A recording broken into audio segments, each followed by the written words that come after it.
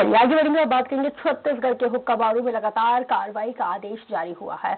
और गृह मंत्री ताम्रध्वज साहू ने कहा है कि पाँच जिलों में पुलिस की स्पेशल टीम को तैयार किया गया है। लगातार हुक्का बारू के खिलाफ छापामार कार्रवाई की गई है। उन्होंने ये भी कहा है कि छापामार कार्रवाई के दौरान कम उम्र के लड़के, लड़कियाँ हुक्का बारू में हुक्का पीते हुए पाए गए हैं। गृह मंत्री ने कहा है कि शराब से ज़्यादा विनाशकारी और तकलीफ़ दे अन्य कोई और नशा नहीं है। कोरबा, बिलासपुर, रायपुर राजनाथगांव दुर्ग पाँच एसपी को दो दिन पहले मैं बोला था कि आप टीम तैयार करके रखना। दो दिन आगे का डेट देके क्या करना है वो नहीं बताया था। उनको मैं बोला था कि आप अच्छे टीआई अपने ज़िले में तीन चार टीम अच्छा बना के रखो। और शाम को पाँच बजे आप अपने थाना में उनको बुला कर